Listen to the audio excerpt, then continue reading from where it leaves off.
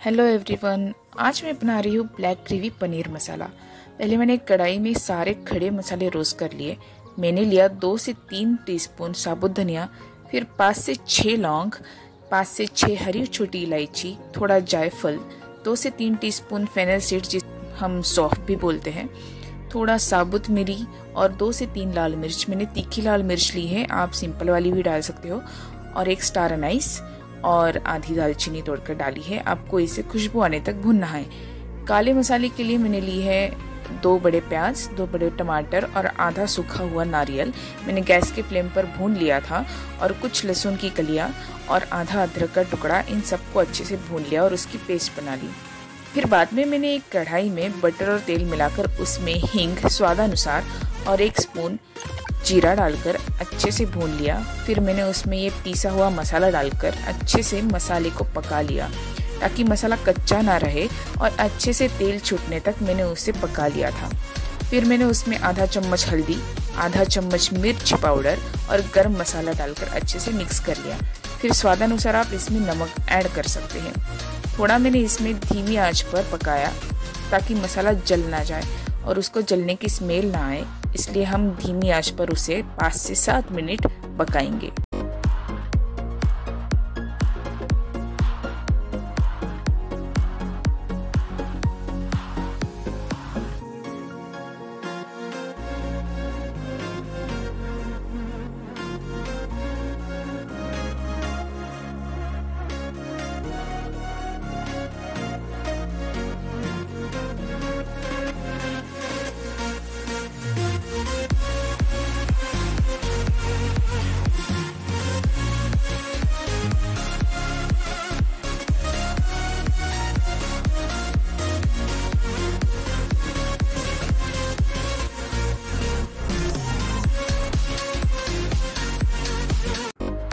जैसे ही मसाला पक जाता है, हम उसमें डालेंगे पानी। आपको गाढ़ी ग्रेवी चाहिए हो तो आप पानी कम डाल सकते हो। अगर पतली ग्रेवी चाहिए तो आप ज़्यादा पानी मिक्स कर सकते हो। पर ध्यान रखिए, उसके वजह से नमक का प्रमाण कम हो जाता है।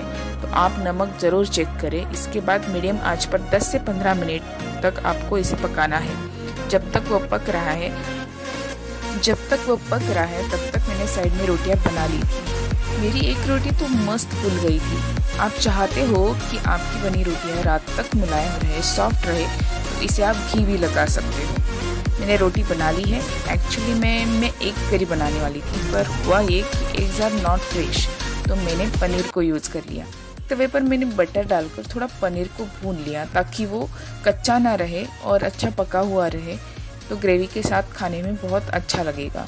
और मैंने उसको फिर भून के थोड़ा ग्रेवी में ऐड कर लिया और ढक्कन लगाकर उसे 10 मिनट के लिए पकने के लिए छोड़ दिया।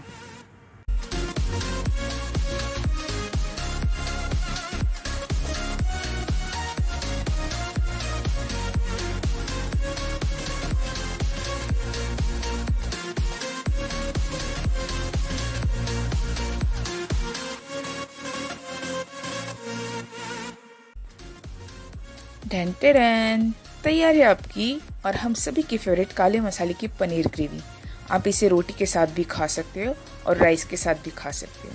अगर आपको मेरा ये ब्लॉग पसंद आए तो आप ज़रूर ट्राई करिए। आपके घर में ट्राई करिए कि काले मसाले की पनीर ग्रेवी कैसी होती है, और बहुत सुंदर लगती है। जैसे आप मटन और चिकन बनाते हो, वैसे आपने पनीर की बनानी है तो बहुत ही सुंदर लगती है। ये मेरा कुछ प्रेजेंटेशन है अगर आपको पसंद आए तो ज़रूर बताइएगा कमेंट में। और मेरा ये ब्लॉग पसंद आए तो लाइक करिए शेयर करिए अपने दोस्तों के साथ और कमेंट करिए और बहुत सारा सपोर्ट की। आपके सपोर्ट की बहुत ज़्यादा ज़रूरत है तो आप ज़रूर सपोर्ट करिए। अगर वीडियोस पसंद आए तो चैनल को सब्सक्राइब करना मत भूलना।